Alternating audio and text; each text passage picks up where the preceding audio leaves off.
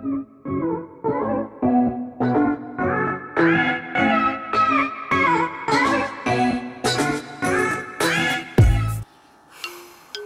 man, this isn't working. Nope, nope, nope. I ain't giving up. I'ma make this work. Oh no, this is one lost cause. What's up, beautiful people of the world? Hi there, this is Sheila once again, your average, not super awesome, fairly interesting next door local vlogger. And today is another Radiant Sunday, which means it's time for a new vlog. So, when reality hits you, it hits you hard. But hey, my mama raised me way better than that. I'm way too stubborn to raise my white hanky and stop throwing my punches. Which essentially means that I'm gonna keep on fighting.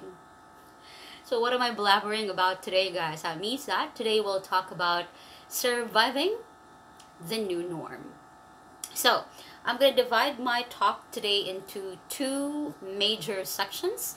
The first one will talk about um, practical things, the practical side of things and how uh, we'll try to get by and survive each single day.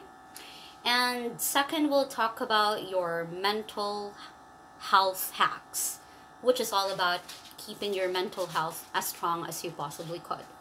So let's begin with the practical side. Number one, I would suggest that we find the necessary skills to find a good source of income while we are in the new global situation that we still are at.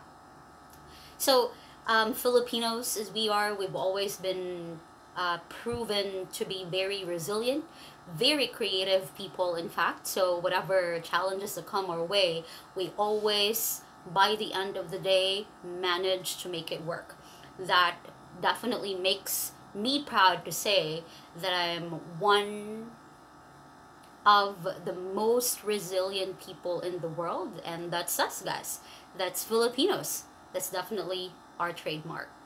Now going back to honing the necessary skills to be able to find good sources of income while we are in the new norm uh, one very important skill in fact guys is your communication skills. Now i'm not saying all jobs require english communication but a lot of jobs right now uh, as a lot of businesses translate to operating virtually uh, really require good English communication skills. Now, we don't have to be perfect communicators. We just have to have the basic skills so that we could explore a lot of these new opportunities that are coming through uh, as we translate to the new norm. So, if you want to learn more about how to better your communication skills, your speaking skills, then definitely you should tune in to my channel. I'm going to talk more and more of those as we journey together. Alright, so that's number one. Let's find those good sources of income and that is by honing the skills that we can use to find them and that is to be able to survive, support our family, support ourselves as we transition and as we journey uh, through what we call today as the new norm. Number two, it's very important that we also strategize on our expenses. Now, I'm not someone who's very good at managing mine myself, but uh, this is something that we could perhaps try to learn as we go through this new setup worldwide uh, is to ensure that we're able to strategize the way we allocate our earnings towards our expenses. So if things are not really very much needed then maybe we could put them off to, to a future date or maybe we could instead um, save some uh, for anything that might come up along the way that might need um, financial support. So it's very important that we are able to strategize what we do want to spend on right now and what are the things that could be put off to a later date or to a later period. Uh, therefore, that would give us something that we could easily tap when we do really highly need to. So for now, you may want to consider just focusing on the needs and less on the wants, if that makes sense.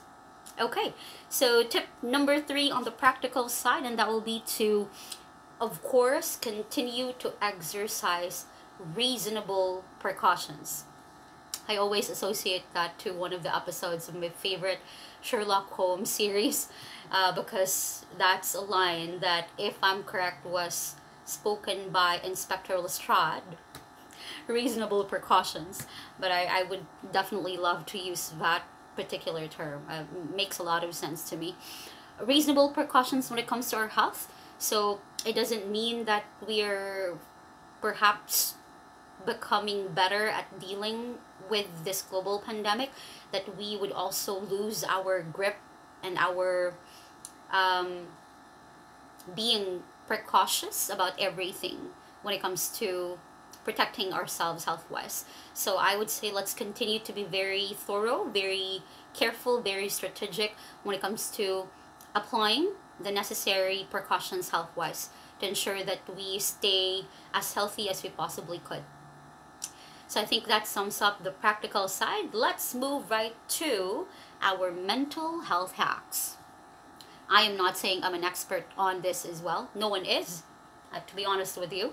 Uh, there's no magic formula to be the best uh, when it comes to your mental health, especially during these kinds of times.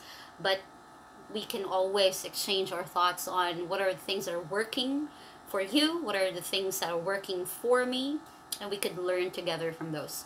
So, number one uh, suggestion really is to stop translating social media likes to the amount of support that you have in reality. Now, I know we have a lot of times nowadays to browse through social media um, because, again, everything is translating to being virtual because of the new setup. And because of that time that we now have, we tend to focus a lot on social media likes whether or not people are liking our post, whether or not we're getting as, as much views as we would like to get. Um, and a lot of times, I know you're guilty, do not deny, that you tend to get depressed when there's just too less of the likes that you are expecting and therefore you get depressed by the end of the day because you will automatically think that this means that people are no longer supporting you that there's just too few who continue to believe in you and that you're becoming less and less significant. And that's definitely not the case. So um, we just have to remind ourselves that these things are surface level factors really. Um, your real support are primarily coming from your family the people who love you whatever happens no matter what um, and you just have to remind yourself that uh, getting those likes do not necessarily mean that people are not with you. Definitely not. We are way better than that. So trust me, it will work better if you don't focus too much on translating those likes and views to the actual support that you really have all right so then second tip is constantly check on your family members. Of course that's a given. Um, to give us peace of mind we do want to stay connected to all of our family members. Uh, call them chat with them use all the platforms you could use to always keep in touch with how your family members are doing especially for those who are not physically together.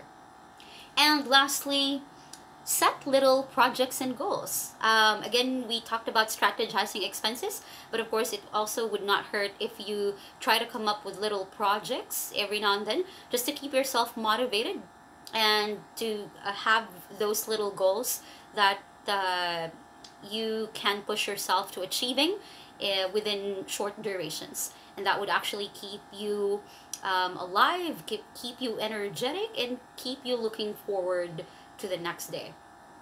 So I think those are all for me on surviving the new norm. I think um, we are learning day by day. We are getting better at it. Of course, there are um, bumps along the way, but what we can really do is just to take it one day at a time.